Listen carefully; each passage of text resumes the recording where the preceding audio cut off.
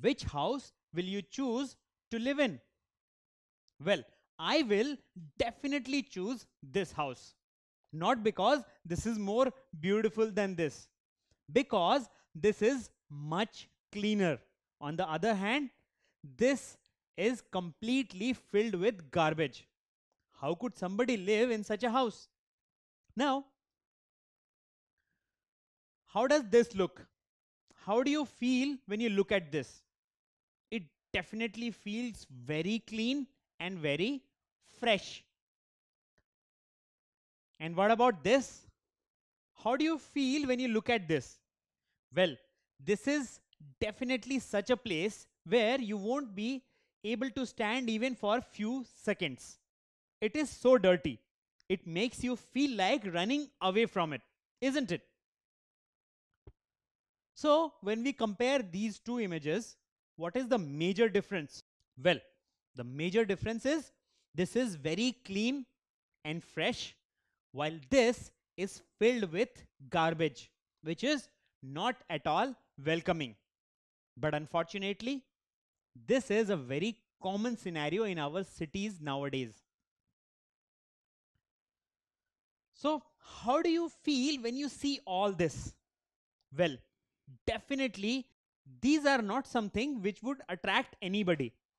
In fact, these are the most common scenarios in our cities which we really would like to avoid. But this is the reality of our cities nowadays. And do you know all these harmful things which are added to our environment? This has a very negative effect on the environment. And we call it pollution. So, when harmful substances are released, making the environment unhealthy, it is called pollution. So, you see, whenever all these unwanted things are added to the environment, which results in an unhealthy environment, we call it pollution. Now, pollution can affect air, water, as well as land. So you see, pollution is not restricted to any one medium. It can affect any one of them. Now, air in our environment is getting polluted by toxic fumes coming out of factories, cars, and other vehicles. So you see, all the factories and vehicles are releasing so many toxic fumes, which are constantly getting added into the air and are making the air unhealthy. And what do we call such a pollution? Well, such a pollution is called air pollution because the air is getting polluted. So, when toxic substances are added to air, it is called air pollution or wind pollution. What do you think? Well, it is air pollution. So whenever toxic substances are added to air, it is called air pollution. Now, not only air, water in our environment is getting polluted due to throwing of wastes and chemicals in rivers and ponds. So you see, even water is getting polluted in our environment. And what do we call such a pollution? Such a pollution is called water pollution. So you see all these scenarios which you see are examples of water pollution. Now, apart from that, throwing of garbage without proper treatment leads to contamination of soil and creates nuisance as you can see in both the cases. So what are these examples of? So land is getting polluted in both these cases. So what do we call such a pollution? It's called land pollution. So you see all the three air, water as well as land gets affected due to pollution. Now listen to this sound effect. What you heard was car horns and which is a very common sound on all our roads. Now apart from that there are so many other sounds which are very disturbing and not at all pleasant to our ears. So all these sounds add to noise in our surroundings. There is too much noise in our surroundings. Unpleasant and disturbing sounds are also polluting our environment. So you see, all these unpleasant and disturbing sounds, they are also a source of pollution.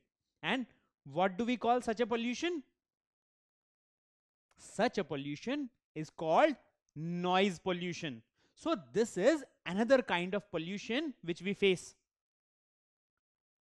Now, pollution is not only affecting us, it is also affecting other living beings. For example, the trees. Trees are losing their leaves and dying due to pollution. So you see, pollution is so harmful even for them. Not only humans, but trees are also affected by pollution. What do you think about this statement? Is it true or is it false? Well, it is definitely true. Apart from humans, even trees are severely affected by pollution. Now, apart from that, even stagnant water is a very common scenario in our streets. So you see, stagnant water on the road, stagnant water in the market, all these things you would have definitely seen. Now, all these also add to pollution in the environment and create a number of problems. Now, when different animals drink this dirty water, well, it will harm them. At the same time, when a car passes through such a road where there is stagnant water, well, it may splash water on people nearby and this dirty water may harm them too. Also, this stagnant water can be grounds for breeding of mosquitoes, which can result in disease such as malaria. So you see, everybody gets affected because of this stagnant water on roads. Now, apart from that, we should not litter. Now, what is the advantage of not littering? Well, no litter means no rats and no insects to spread diseases. So you see, not throwing garbage all over is such a big advantage for us because we will stop rats and insects from spreading diseases. So we should always throw waste in dustbins because apart from this, if we do not throw waste in dustbins, it means that we are also harming other animals. Harming other animals? Well, they search for food in the litter and they eat plastic, which is very unhealthy for them and even can cause their death. So you see, littering is a very big problem. We should not throw garbage all around and should always throw our waste in dustbins so that neither we allow the growth of rats and insects which spread diseases and at the same time we also avoid harming other animals which look for food in garbage. So you see, cleanliness should be a habit because a healthy environment is important for our survival. So instead of littering, we should clean the place like this. So this is a before and after image of a place. As you can see, initially people threw garbage in the area, but some responsible people cleaned the entire area and made it so beautiful. So a place which you would have avoided earlier, now you would not mind passing through it because it was properly cleaned. So this is how we can make our environment much cleaner and healthier for everybody. So you see, when we talk about pollution, it contaminates the environment, making it unhealthy for all the living beings. Air, water, and noise pollution are the major types of pollution which are observed all around us. And we should take effective measures to control pollution so that all of us have a better place to live. So, by avoiding pollution or controlling pollution, we can really make our environment more healthy and livable for all of us. Don't forget to subscribe to our channel. You can also register for free at deltastep.com to get all learning resources as per ICSE, CBSE, IB, Cambridge, or any other curriculum. Over 5,000 amazing lectures across maths, science, English, and social science. Our unique interactive video technology keeps you engaged, and our iDictionary feature allows you to quickly revise any concept. Master each topic at your own pace with our adaptive practice technology and 1 million plus questions. Get instant answers and detailed solutions.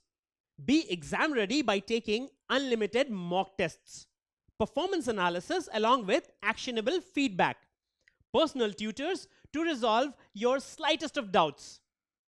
That's not all. You also get amazing prizes like PlayStations, iPads, watches, and many more, along with certificates through our Earn As You Learn program. So at deltastep.com, learning is not just fun and easy, it's rewarding too. So register for free now.